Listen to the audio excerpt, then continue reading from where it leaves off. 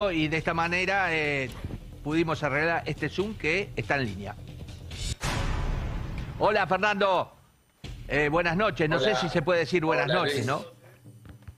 Luis, sí, buenas noches para todos. Buenas noches para todos. Buenas noches. Bueno, ante todo lo que yo decía, si esto había sido eh, una pelea o un crimen.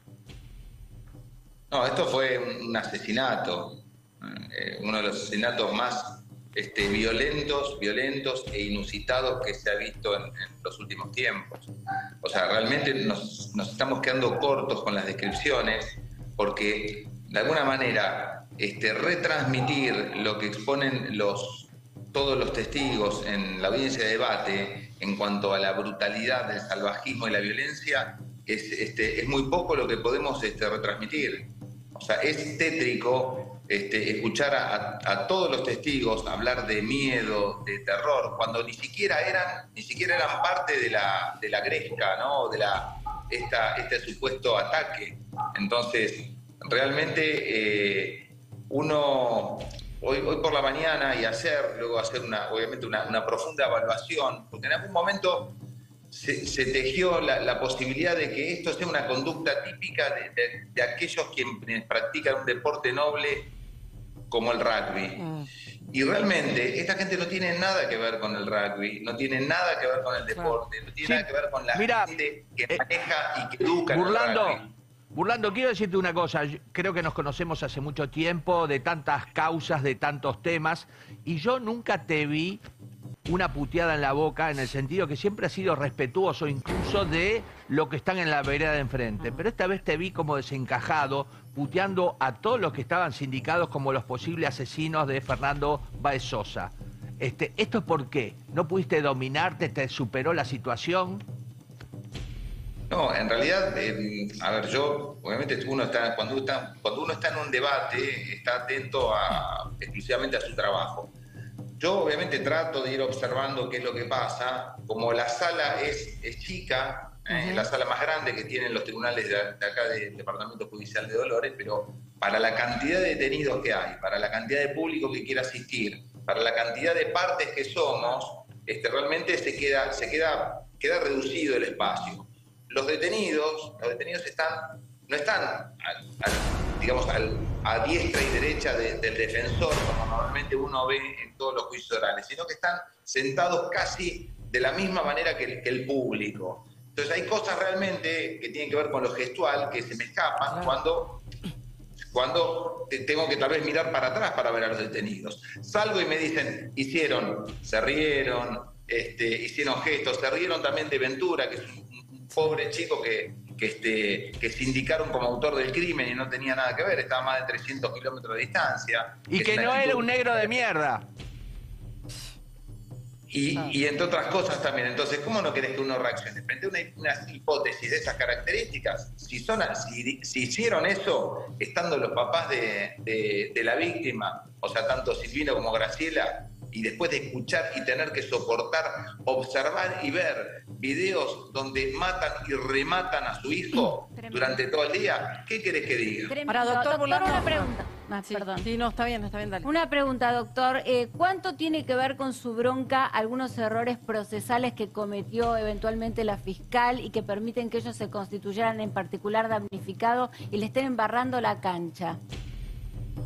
Mira, realmente yo, yo no estoy de acuerdo con esa postura. Yo creo que la Fiscalía hizo un trabajo este, eh, bastante loable. No nos olvidemos que las fiscalías en la provincia trabajan con muy poca infraestructura, eh, con, con- con lo que pueden. Esta es una causa tremendamente voluminosa. Todas las nulidades que pidió la defensa, todas las nulidades que pidió la defensa este, fueron ya resueltas, incluso por este mismo tribunal, por otros tribunales jerárquicamente superiores a este tribunal, y realmente nosotros no teníamos ningún tipo de preocupación respecto de la posibilidad de que se nulifique este juicio. Ninguna, ninguna, no, no, no, no estaba, no estaba dentro de, de la perspectiva este, de posibilidades que este, este juicio se caiga o se anule. Así que eh, no solamente esto es reconfirmatorio del buen trabajo de la. Fiscalía eh, y del juez de garantía, que debo resaltar, también de la Cámara de Dolores, también del Tribunal de Casación de la provincia de Buenos Aires, sino que fundamentalmente es un excelente trabajo de este Sí. tribunal que resolvió en el mismo día este, con, una calidad jurídica realmente también pocas veces vista. Pero burlando, quiero, quiero cotejarlo con usted porque legalmente no sé, no conozco el código de PAPA, pero me decía un juez conocido este, que es bien posible que la defensa opte en las próximas horas de hacer una presentación de recusar a la jueza mm. porque creen haber visto que ella en determinado momento enjugó alguna lágrima y por ese motivo podrían pedir la recusación que no sería en contra, digamos, del proceso, pero sí que lo demoraría con una gravedad que la jueza no tiene reemplazante en el caso que se la recuse. ¿Esto puede ser así o es un invento? Yo, he visto un tribunal este, realmente muy, muy, muy serio.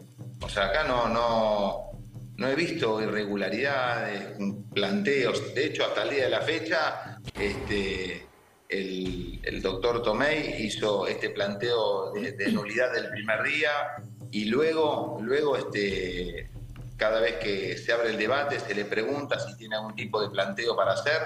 Y bueno, e, esas supuestas lágrimas que, que referís, este, Luis, seguramente serán el día que declaró la mamá de, fue ese día, Fernando. De Fernando, que emocionó a todos. Yo realmente a la jueza no la vi emocionada, ¿eh? la vi, sí, atenta, como todos los jueces. Sí vi, sí vi, te voy a ser franco, sí vi realmente llorar este, a infinidad de gente en, la sala. Eh, vi custodios que tenían este, realmente los ojos este, con, llenos, llenos de lágrimas y color colorado. doctor. Pero, pero las a los jueces inmutables. inmutables. ¿Qué tal? Buenas noches. ¿Te puedo preguntar algo? Algo que responde a un pedido de la sociedad, porque finalmente los rugbyers hoy, bueno, rugbyers no, mal llamados rugbyers, se sacaron el barbijo. ¿Esto a qué responde? ¿A una presión social? ¿A una estrategia de la defensa? ¿Qué crees? No, yo, yo creo que este, mira, hoy eh, un poco en sorna digo, se habrán vacunado. Eh, pero realmente yo creo que tienen, están tan desorientados. Mm. Este, porque el, peso de la prueba es tan contundente. Eh, acá tenemos todos los testigos que concurrieron, todos, eh, todos, y todos los que vieron el hecho, eh, no pararon de emocionarse y sobre todo de lamentarse el por qué no haber este, hecho algo por Fernando.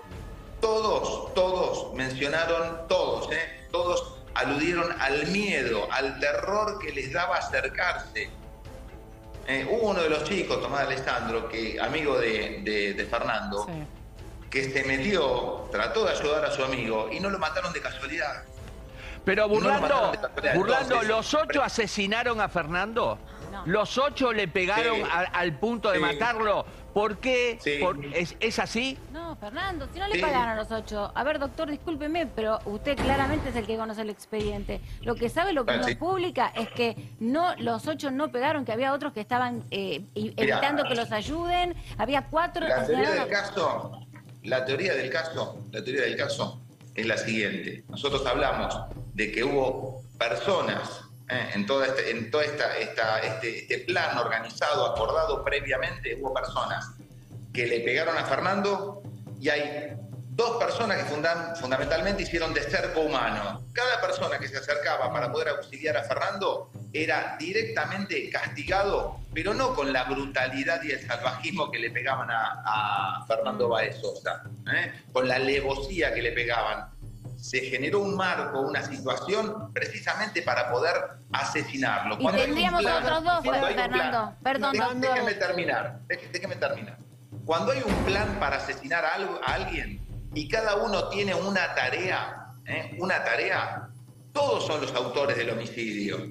¿eh? Si dos no le pegaron, hicieron otra, otra tarea, también son coautores del homicidio. ¿Y los otros dos? ¿Y los ah. otros dos? Porque usted nombró cuatro que pegaron, dos que evitaron que se acercaran. ¿Y otros dos? Seis pegaron, seis pegaron y dos hicieron el cerco y le pegaron a otra gente mm. para que no se meta. Es así, o sea, eso es lo que figura. Es más, yo tengo, tengo, más allá de los testimonios que involucran a los ocho, a los ocho, no a dos, a cuatro, a seis, a los ocho, tenemos pruebas que vinculan directamente a los acusados, ¿eh? ahí sí tenemos menos, pero no, no tenemos a todos, tenemos parece que a cinco con ADN, Decime una cosa, si tienen ADN de Fernando en la suela de los zapatos, explícame por qué. Debe haber mucha gente que tiene ADN en la suela de los zapatos porque, disculpa, disculpa. ¿Querés negar el hecho? Explícame para qué, por qué tenía ADN en la suela de los zapatos A ver, esto. Eh, doctor, discúlpeme, debe haber mucha gente que tiene este, eh, ADN en la suela de los zapatos, como por ejemplo la chica que lo quiso revivir. Yo no estoy a favor de los rugbyes, claramente, pero a mí me parece que tenemos una segunda línea y una primera línea. Que no haces un análisis, por lo menos, eh, eso, con una perspectiva con sentido común. Sí, sí, estamos hablando de común. Yo no conozco el expediente, usted lo conoce. entendés lo que es el derecho, o lo que, que, uno, que tiene que ver con el sentido común, sí. tenés que saber que si ocho personas se ponen de acuerdo para matar a una, a, una, a ver, todavía no sabemos si la premeditación está aprobada. No lo sabemos y quisiera saber cómo la va a aprobar. Claramente no me lo va a contar ahora, pero me gustaría saber. Están presos hace tres años con fallos confirmados por la Cámara. ¿Entendés? Que fue un planteo que hicimos nosotros. Entonces, está confirmado por la Cámara, confirmado por casación. Si necesitas algo más, no, no, sé, no perdón, está